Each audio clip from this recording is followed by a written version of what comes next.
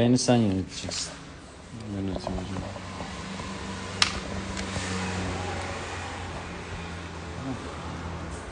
Şu an için bakıyoruz. Uzaktan kontrol sağlayalım. Şimdi saçın rengi ne renk? Boya rengi. Yani bence güzel duruyor arkadaşlar. Henüz ara makasına girmedik bile. Küçük küçük makasın uçlarıyla nokta dokunuşlar yapabiliriz demiştik. Bu altlara bu çalışmaları yapabiliriz. Yorum yapan olursa isimleriyle beraber bize iletebilirsin. Yusuf Özbilen. Abi öğrencin olmak istiyorum diyor. Olabilirsin. Yayın bitince yazarsın, detaylı bilgilendirme yaparız.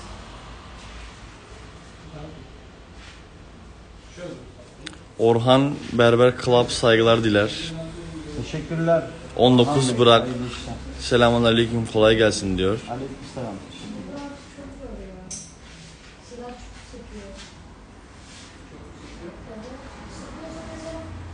Burada bakın makasın ucuyla sadece nokta vuruşlar gerçekleştirerek saçın sık bölgelerinin köklerine sadece makasın uçlarıyla vuruşlar yapıyorum. Burada amacına uygun bir çalışma yapmış oluyoruz arkadaşlar. Sırf iş olsun, gösteriş olsun diye burada bu çalışmalar yapılmıyor. Amaca uygun çalışmalar yapıyoruz. Sadece köklerde hoşumuza gitmeyen bölgeler varsa bunları dengeleyebiliyoruz. Yusuf Özbilen teşekkür ederim diyor. Biz de teşekkür ederiz.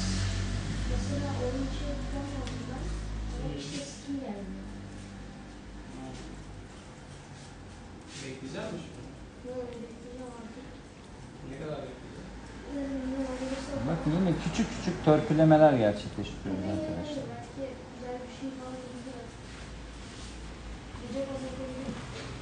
Ne kadar bekleyeceksin?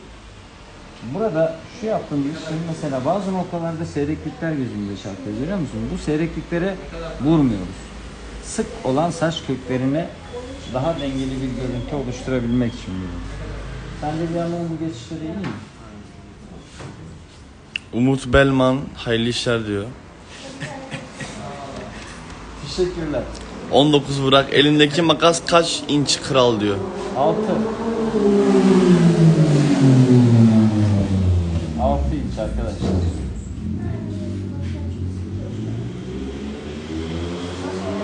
Şimdi buralarda makasını her saça vurmuyoruz demiştik. Gerekli olan noktalara. Şimdi biz bu alanlara bir törpüleme yapacağız. Ara makas etkisiyle iz silermişçesine. Yani yine az önce iz silerken ne yaptık? Buradan başladım. Kademe kademe saçın ortasından ucuna doğru uzaklaştırma yaptım. Şimdi aynı işlemi ara makasla yapıyorum ve uçlarına vuruşlar yapıyorum. Ara makasını kesinlikle saçın derinine, dibine vurmayın. Eğer saça doku vermek istiyorsanız şu uç kısımlarına yani 1 santimlik, 1,5 santimlik uç kısımlarına ara makas çalışmasını yapın. Buralara yaptığınız çalışma saçın uçlarına bir doku vermiş olacaktır ve saç köklerine herhangi bir zarar vermeyecektir.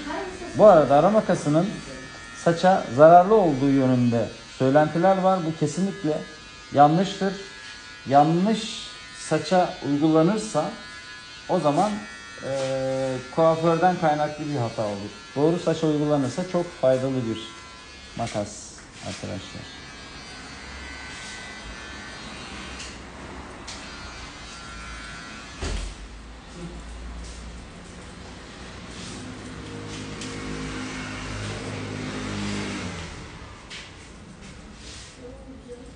Bakın buradaki hafif keskinliği biraz daha yumuşatmamıza yardımcı oluyor. Ara makasının etkisi çok önemli. Elimdeki makas %30'luk makas. %30'luk makasla bu çalışmaları daha sağlıklı yapabiliyoruz. Gökhan Polat Koca Reis diyor. Emir Şimşek kolay gelsin hocam hayırlı işler. Teşekkürler Emir. Kurtulanım Yılmaz abi Hatay'dan selamlar kolay gelsin. Kim? Kurtulanım. Teşekkürler Hatay'a selamlar. Kurtulan. Gökhan seviyorsun. Bayburt'a selamlar. Tamam ya. Gördün mü? Hani bu bunu yaptığımız zaman bu alanlara bakın ara makasının etkisini ne kadar ortaya çıkardığımızı görebilirsiniz. Enes Acar sizsiniz hocam tamam. Enes sen varsan mı burada? Teşekkürler hocam.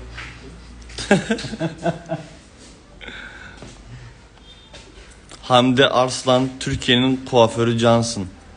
Teşekkürler Hamdi. Hayırlı işler.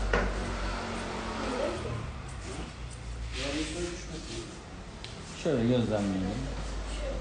Tekrar kontrol edelim. Gözde çarpan bir bozukluk var mı Enes Bey? Bir kontrol eder misiniz? Estağfurullah hocam. Varsa söyleyebilirsin. Yorum yazabilirsin orada. Şu an yapım aşamasındayız arkadaşlar. Tıraşımızı henüz bitirmedik. Bu saçın finali nasıl olacak? Çok merak ediyoruz. Üstler Ricardo tonunu olacak. Üstler kısalacak aynı zamanda. Yanları tamamen keseceğiz. Yanları şu an TikTok'ta olsaydık bir sürü şey çıkacaktı. Artık kes şu altları falan diye yorumlar olacak. İhe İnci kral adam sende eğitim almak nasip olmadı. Hayırlısı. Şimdi ense makinesini vuruyoruz görüyor musunuz?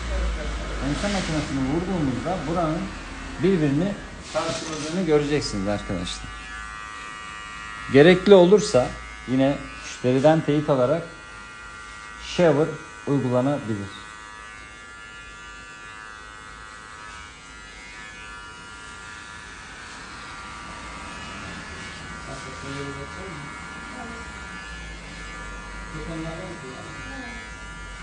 Olumsuz yorum varsa da okuyabilirsin bu arada. Hepsini okuyorum hocam. Tamam. Biz çekimdeyiz. 10 numara usta cidden.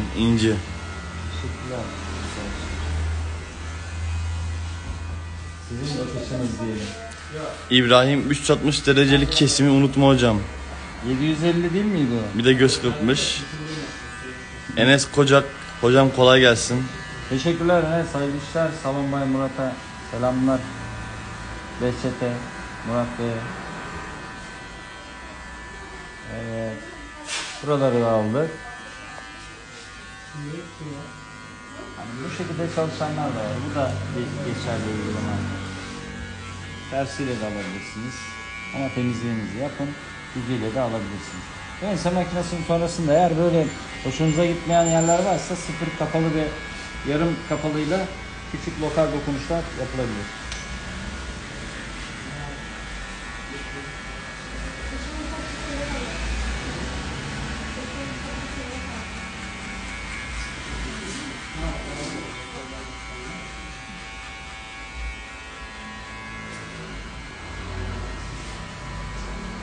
Enes Kocak aleyküm selam diyor.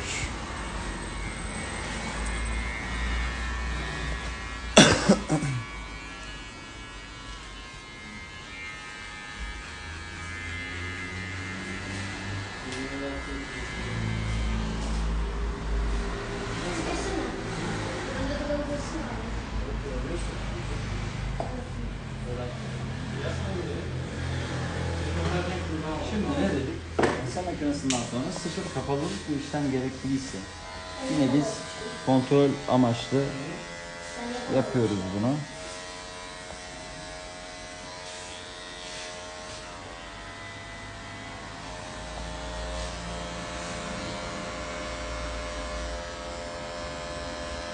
Bakın sıfır açı nerelere kadar çıkabiliyorum bakın. Kenarını kullandığım için, dikey kenarlarıyla temaslar yaptığım için risksiz bir şekilde ilerlemiş oluyorum. Burada esasında bir noktada da makine hakimiyetinizin olması gerektiğini anlatabilirim.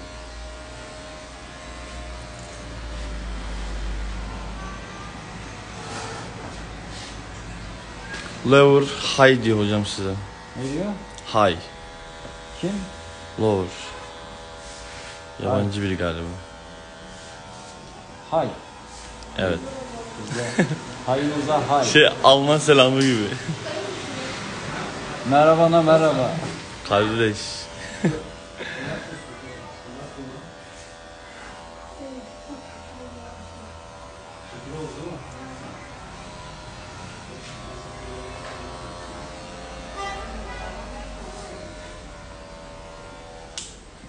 Şimdi üstlere kesim sağlayacağız arkadaşlar.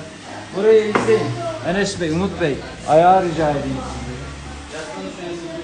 Çünkü saçların üstleri uzun biz neredeyse 4 santim kadar bir saçı kısaltacağız. Utku Yıldız, hocam Adana'ya şubenizi açsanız süper olur.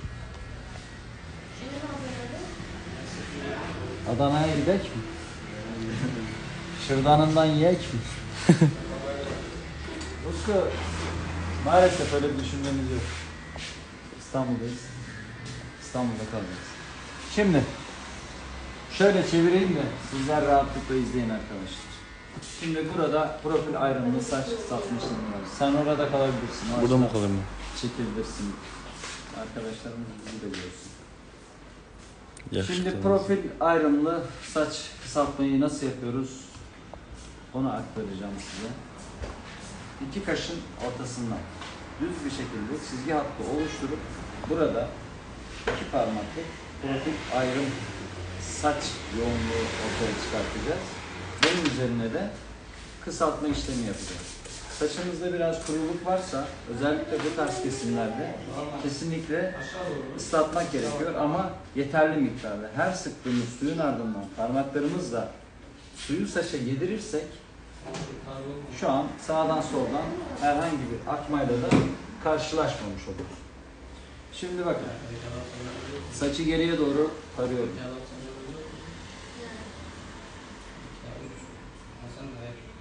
Tam olarak seni şu tarafa alacağım. Şu köşeden çekeceğim. Hem takibini de yapalım. Siz de buradan daha rahat olun. Eğer biz sağ kaşın buradaki başlangıç noktasından ayrımı gerçekleştirip ilk ayrımı yaparsak ikinci ayrım bölgesini almak için bu alanı bozma ihtimalimiz var. Yani ancak şöyle bir tam dikey çalışma yapmanız lazım ki ayrımı eşit bir şekilde yapın. Bunda biraz risk var. Bu olur.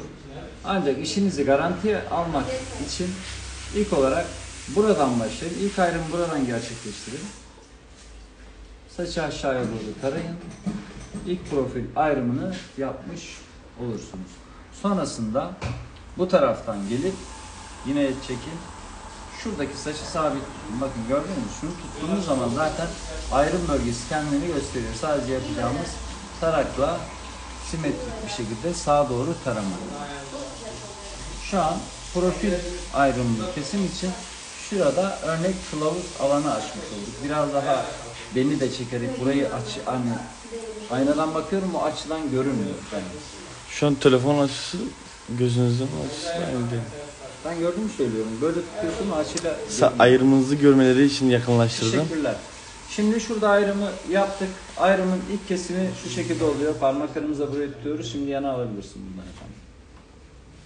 Teşekkürler. Şimdi sıkıştırarak çekiyorum. En yukarıya kadar çektim. Hemen hemen 3-4 santim kadar buraya kısaltma gerçekleştireceğiz. Burayı kestim. İlk noktada ilk kılavuz bölgesini aldım. Sonra öne doğru geleceğim. Sonra sağa doğru, arkaya doğru devam edeceğim. Şuradaki alanın yarısındaki saçı geriye doğru yatırın. Tekrar saçı kendinize doğru çekip sıkıştırarak uzaklaştırın. Tek seferde sıkıştırarak çekip alınmıyorsa ikinci hamleyle alabilirsiniz. Yine kesimi gerçekleştiriyorum. Burada küçük bir pay kalabilir, kalsın. Yine bir sonraki aşama için burası bizim kılavuz takibimiz olarak önümüze çıkacaktır. Buraya da bu kesimi gerçekleştirdim. İlk profil ayrımının işlemini yaptım öne doğru. Sonrasında geriye doğru devam ediyorum. Aynı paraleldeki ayrımdan saçı sıkıştırarak çekiyorum ve 90 derecelik eşit açı ile bütün kesimlerde, parmak arası kesimlerde 90 derece eşit açı kullanırsak saçın her tarafını eşit bir şekilde kısaltmış oluruz. Bakın her birinde kılavuz takibi yapıyorum. Yani ben bir sonraki aşama tuttuğumda şurada böyle kılavuz görünmeyen bir şekil olmasın. Sıkıştırarak çekin. Bir önceki kesim yaptığımız noktanın kısalığını görün arkadaşlar. Tekrar sıkıştırdım, çektim. Yukarıya doğru aldım. İlk profil ayrımının işlemini gerçekleştirmiş olduk. Bu noktadan sonra burada oluşturduğumuz kısalığı sağa ve sola doğru sürdürmek. Bunu nasıl yapacağız? Bunu yapmak için de bu kez saçın profil ayrım bölgelerinin tam ortasından tekrar böyle geçebilirsin.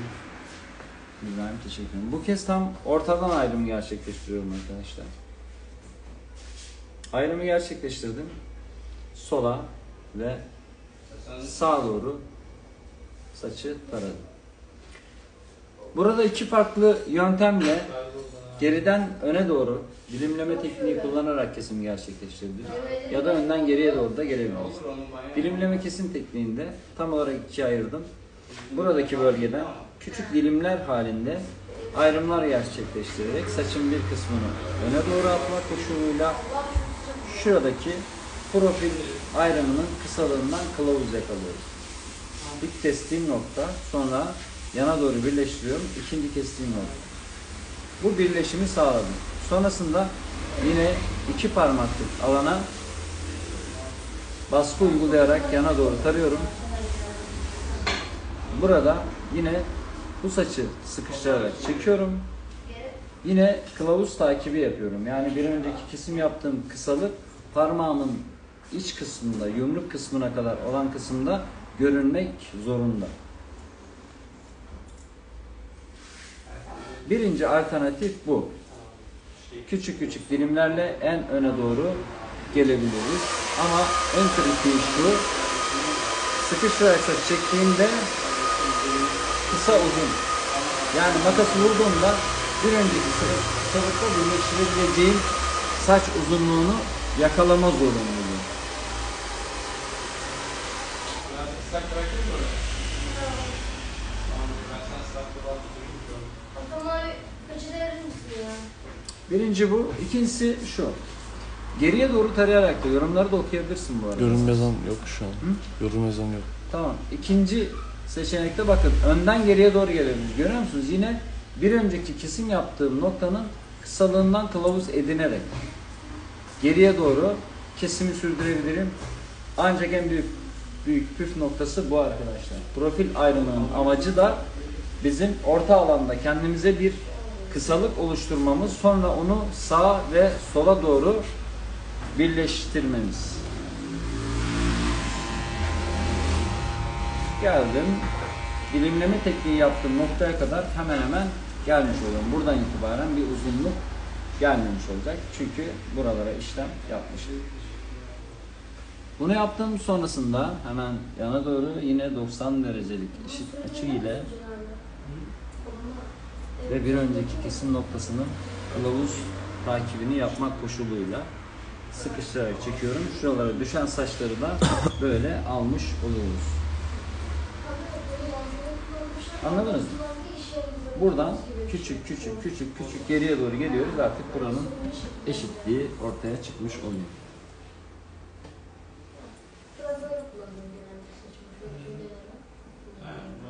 Bu alanla birleşimini yapacağım çünkü bu tarafa işlem yapmadım. Şu an bizim istediğimiz saç kısalığı, önlere de biraz çalışmalar yapacağız. Ancak şuraların taranmak istediği uzunluk bu şekilde iyidir diye düşünüyorum. Enes sen ne düşünüyorsun? Şuralar için. Çok az daha acaba olsa iyi? Alınabilir. Tamam. O kontrollü gidilebilir. Biz bir keselim. Direkt ben tamamen kesmek istemedim. Tamamen kesseydim biraz kısa olduğundan ziyade hani onunla karşılaşmamak için uçlarından işte 3-4 santim kestim. Senin talebin doğrultusunda tekrardan biz kısaltma gerçekleştirebiliriz. Zaten ben bayağı bir kısa istiyorum hocam. Tamam.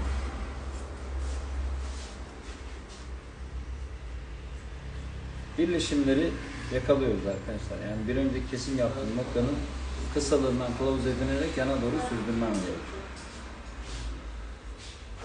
Eğer yavaş çalışıyorsanız makası buraya saklayabilirsiniz. Bu her zaman geçerli bir şey değil.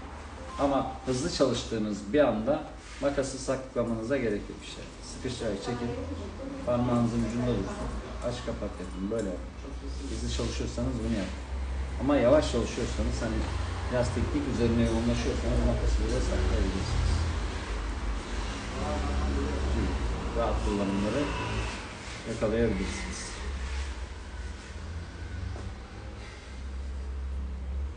Şimdi burası kaldı. Burada da aynı şekilde kılavuz takibi birleşimini yapabiliyoruz.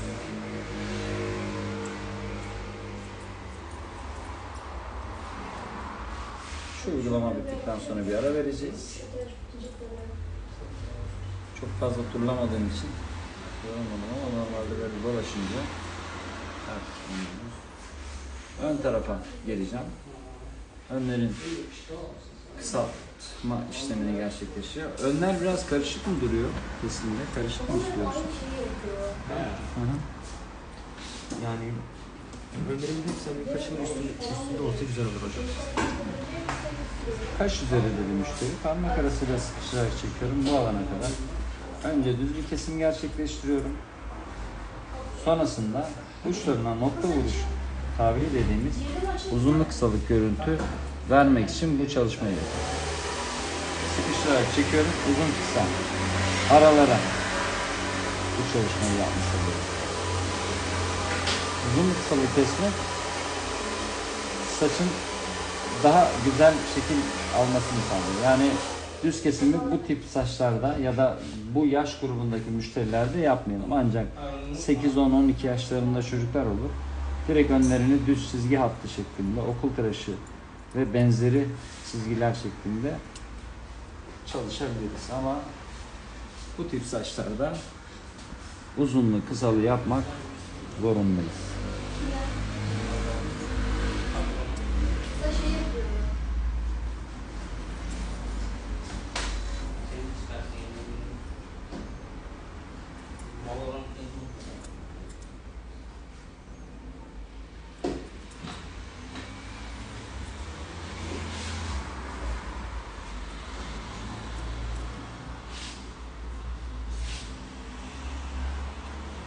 Bu saçı satmaya devam edebiliriz de. Olur mu hocam? Biraz daha ileride. Abi şuraya bir mağaz alsana. Tamam. Nereye? Şuraya. Orası saçın önü.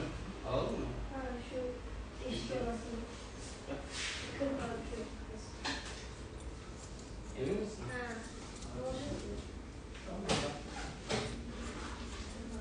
Şimdi bu saçın üzerine boyayacağız arkadaşlar biraz sonra. Boya yapılan saçların bu arada şekillendiricisiz ve temiz olması gerekiyor. Aklınızda olsun. Bir müşteri koltuğa oturdu. Saçını boyatmak istiyorsa, özellikle açık tonlar istiyorsa tozlu, kirli, vakslı, spreyli olmaması gerekiyor. Yağlıysa hocam. Yağlıysa yani çok sabah yıkayıp öğleden sonra geldiyse küçük yağlanma karşılanabilir ama e, gün sonunda ya da bir gün önceden yıkama yapıp geldiyse muhtemelen saçı çok yağlıdır. E, çok fazla yağlı saça da özellikle açıcı işlemlerinde kesinlikle yıkama zorunluluğu var. Ama 3 numara koyu renk yaptırıyorsa adam biraz yağlanmanın bir zararı yok. Bay Samet Ustura Tarak yazmış. Ha? Bay Samet Ustura Tarak yazmış. Ustura tarak. Yani Bay Samet ustura tarak çalışması mı yapalım? Ustura tarak çalışmasını finalde yapabiliriz. Bu arkadaşın saçlarının üstleri Icardi rengine dönük bir renk olacak arkadaşlar. Az önce biz video çekmedik değil mi çevresi? Hayır.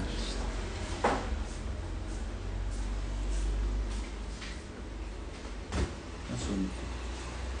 İsim makinesini almadan isim gerekiyor. Video kaydedebiliriz buraya. Ha? Video kaydedip sonra paylaşabiliriz. Ondan Dilek Özbek kolay gelsin diyor siz hocam. Teşekkürler Dilek Hocam. Nasılsın? Şimdi usturalı tarağda saçın önleri eğer düz bir şekildeyse buranın uzunluk kısalı görünmesini sağlamak için yapılıyor. Samet aynen abi diyor. Aynen Samet. Gerekli olan yerlere usturalı tarak kesimi yapılmaktadır. Bu buraların yine düz değil uzunluk kısalı görünmesini sağlamak için kullanılır. Tabii ki bu kısa saçlarda geçerli bir uygulama değil. Uzun saçlarda daha hoş bir görüntü ortaya çıkartmak için kullandığımız tarak.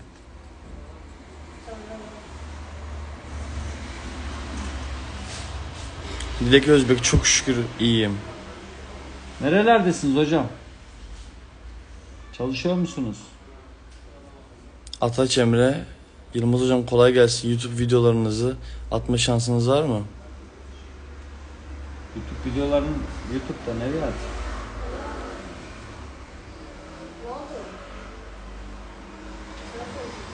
Bu videoyu YouTube'a atma şansınız var mı demek istiyordur. Maalesef yani şu an yayında. Canlı yayınları kaçırıyorum bazen. Dilek Özbek geleceğim bir gün diyor. Gelin hocam buyurun her zaman. Gördüğünüz gibi burada fazlalıklar vardı. Yine buralara makasın uçlarıyla vuruşlar yaparak düz bir kesimden ziyade yine karşıya dur. Uzunlu kısalı görüntü vermek için bu çalışmayı yaptık. Aralarda katlar vardı. Dilek Özbek kendi salonumu açtım diyor. Nerede açtınız hocam? Bakırköy'de mi?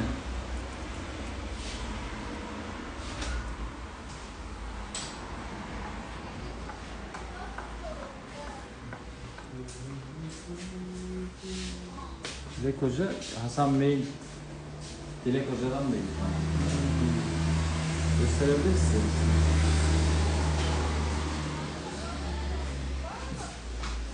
Bir tane misafirimiz vardı hocam.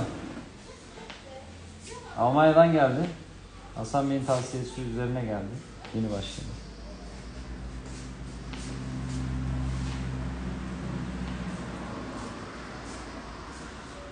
Kendisini medyada çok fazla göstermek istemiyor. Dilek Özbek size yerini sonra söyleyeceğim. Neyi? Yerini size sonra söyleyeceğim diyor. Tamam hocam. Yazarsın.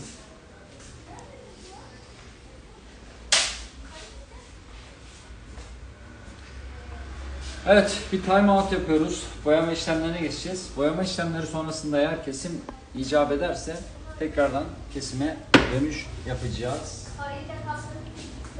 Burada e, boyama kısımlarına da yine bir birazdan bir ayrım yapacağız arkadaşlar. Değişim videosunun finalini Instagram'da yayınlayacağım arkadaşlar. Bizleri buraya kadar izlediğiniz için hepinize teşekkür ederim. İbrahim Bey'e çevireceğim. Powerbank çıkartabilirsin. İbrahim Bey'e bize destek olduğu için teşekkür ederiz arkadaşlar. Biz de teşekkür ederiz. Biz de teşekkür ederiz. Hacı 321. Arkadaşlar yayınımızı sonlandırıyoruz.